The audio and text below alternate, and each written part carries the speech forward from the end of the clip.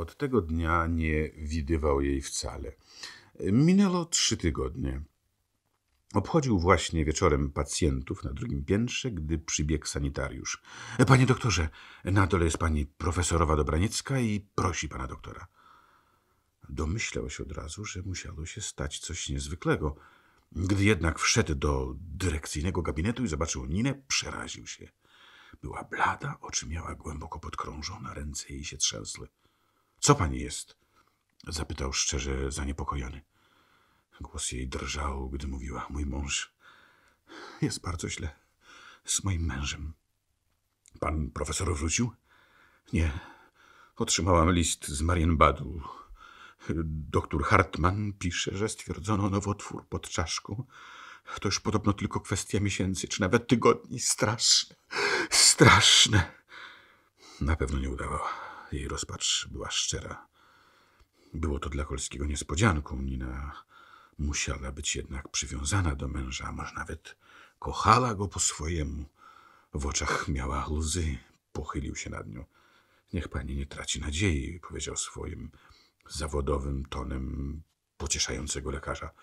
Podobne diagnozy bywają mylne, a zresztą tego rodzaju nowotwory dają się usuwać. Wątpię, by w Marienbadzie y, byli dość poważni specjaliści z tej dziedziny. Otarła łzy. Dałby Bóg. Jerzy chce wrócić do Warszawy, ale y, nie może być mowy o tym, by wracał sam. Musi mieć w drodze odpowiednią opiekę. Czy, czy pan pojechałby ze mną? Ależ oczywiście, proszę pani. Doktor Hartmann radzi zabrać Jerzego jak najprędzej. Boże, Boże, właśnie to nagle przeraża mnie.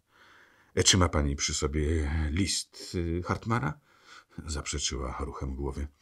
Chciałbym go przeczytać. Nie, nie ma w tym liście żadnych ściślejszych danych, ale mogę go panu przysłać. Zamyślił się i powiedział: Nie widzę racji, dla której mielibyśmy odkładać wyjazd. Muszę się tylko porozumieć z Rancewiczem. Kiedy pani może być gotowa? Ach, każdej chwili.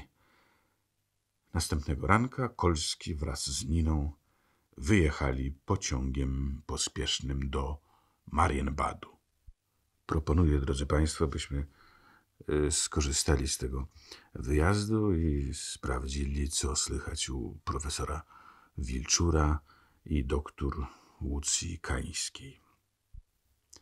Po polach, porżyskach i ugorach łagodny wiatr ciepły, srebrne nici białego lata unosi.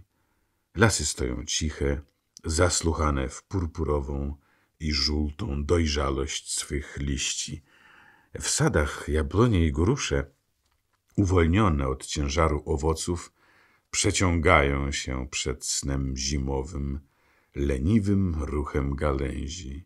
Po gumnach wróble gwarne wiece odbywają w złotej slomie. Szli krętą drogą między rżyskami. Brzegi jednak drogi były dość gęsto porośnięte krzakami.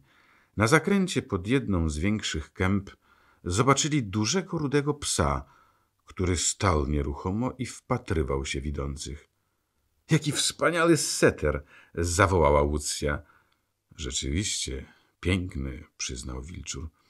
Musi być tu w okolicy od niedawna, bo nigdy go nie widziałem. Zboczył w stronę psa i wyciągając doń rękę zawołał. No, chodź tu, piesku, chodź. Nie zdołał ręki w porę cofnąć. Wyglądający tak spokojnie seter w mgnieniu oka wpił się zębami w dłoń, po czym zawrócił i pomknął cwałem w stronę cmentarza. Mój Boże, powiedziała Lucja, ugryz pana. Czy bardzo boli? Wilczur uśmiechem pokrył ból. Ach nie, to drobiazg, skłamał. W istocie czuł w całym ramieniu przejmujący ból. Zęby zwierzęcia musiały uszkodzić jakiś nerw. Z niedużej rany sączyły się kropelki krwi. Wyjął chusteczkę, otarł dłoń i zauważył. Czegóż wymagać od zwierząt, skoro ludzie tak często postępują podobnie, odpowiadając na przyjaźń i życzliwość zębami. Lucja zatroszczyła się, że tu nie ma wody. W każdym razie, niech pan natychmiast po powrocie do domu wydezynfekuje tę rankę. Musi mi pan to obiecać. Zaśmiał się. Ależ panno Lucjo, to drobiazg. Zresztą mogę pani obiecać, że to zrobię. Bardzo proszę.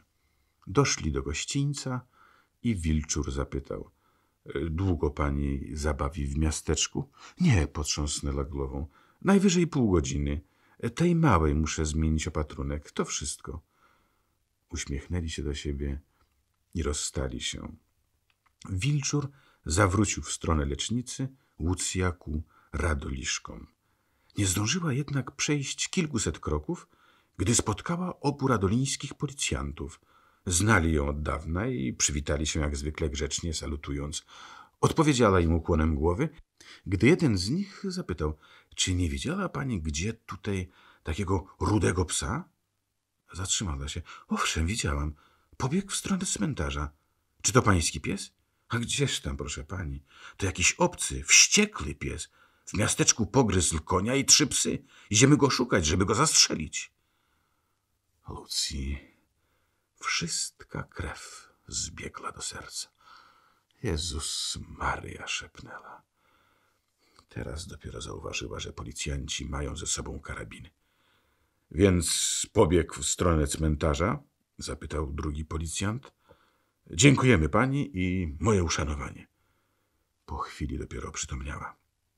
Najpierw chciała biec za wilczurem, by go dopędzić i zakomunikować mu straszną nowinę. Po namyśle jednak postanowiła czym prędzej iść do apteki. Po drodze dręczyła ją obawa, że w takiej małej aptece nie znajdzie szczepionki pasterowskiej. Nie omyliła się. Jedyny sposób, proszę pani doktorki, oświadczył jej aptekarz, to wieść profesora do miasta. I to jak najprędzej. Sama pani wie, że w takich wypadkach nie ma czasu na zwlekanie. Lucja spojrzała na zegarek.